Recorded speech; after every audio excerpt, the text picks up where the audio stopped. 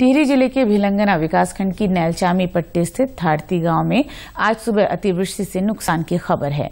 Nailchami guard में आए उफान के कारण घाटी के गाँव में कई हेक्टेयर कृषि भूमि बहने के साथ ही फ़सलें नष्ट हो गई। कई पेयजल लाइनें निर्माणाधीन थारती चिरबिटिया मोटर मार्ग पर बना पुल और थारती व भटवाड़ा गाँव में तीन पुलिया क्षतिग्रस्त होने की सूचना है। पूरे क्षेत्र में लोग दहशत में हैं, लेकिन सुखद ये रहा कि किसी भी तरह की जनहानि नहीं हुई है। सूचना मिलने पर पहुँची प्रशासन की टीम ने निचले इलाके से ग्रामीणों को सुरक्षित स्थानों पर पहुँचा दिया है। दोपहर जिला मुख्यालय से टिहरी के डीएम सौरभ गहरवार भी मौके पर पहुँचे और हालात का जायजा लिया।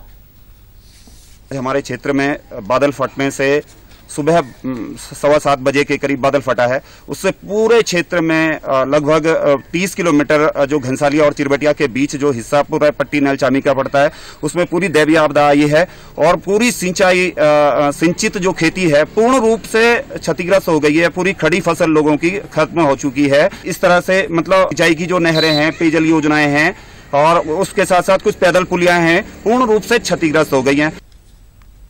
दूसरी ओर टिहरी ज़िले की नैलचामी पट्टी से सटे रुद्रप्रयाग ज़िले के जखोली विकासखंड में भी अतिवृष्टि से नुकसान की खबर है।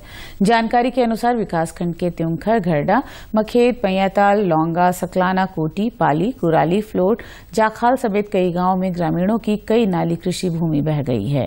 रुद्रप्रयाग प्रशासन की ओर से जानकारी दी गई है कि राहत एवं बचाव कार्य और नुकसान का जायजा लेने के लिए सुबह से ही राजस्व, सुबह ही राजस्व विभाग, एनडीआरएफ और डीडीआरएफ की टीमों को क्षेत्र में भेज दिया गया था।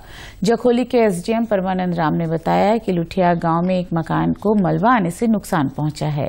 यहाँ से संबंधित परिवार को अन्यत्र शिफ्ट कर दिया गया है। इसके साथ ही दो तीन अन्य मकानों को भी खतरा उत्पन्न हुआ है। क्षेत्र में नुकसान का आकलन किया जा रहा है।